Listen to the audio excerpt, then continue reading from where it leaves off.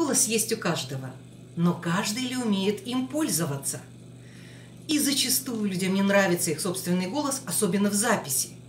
У голоса есть огромное количество характеристик, которые можно изменять, благодаря этому достигать различных целей. Был проведен эксперимент. В большом холле аэропорта был нарисован обычный прямоугольник на полу, и человек пытался проходящих убедить в том, что в этот прямоугольник не заходить, в этот квадрат не заходить. Сначала он просил их, голос был такой тихий, с просящими интонациями. «Не заходите в мой квадрат! Это мой квадрат! Пожалуйста, не заходите!» И люди не обращали на него никакого внимания. Потом он добавил такой стервозной, скажем так, нотки, э, которая крикливая, да?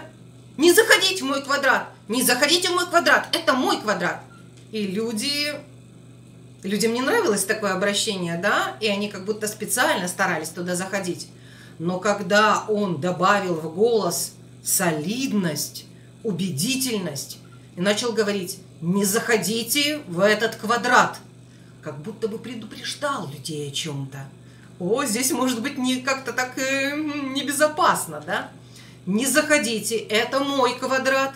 И люди начали к этому прислушиваться – вот вам владение ситуацией. Голос – это инструмент, и его можно изменять, что называется, по щелчку пальцев.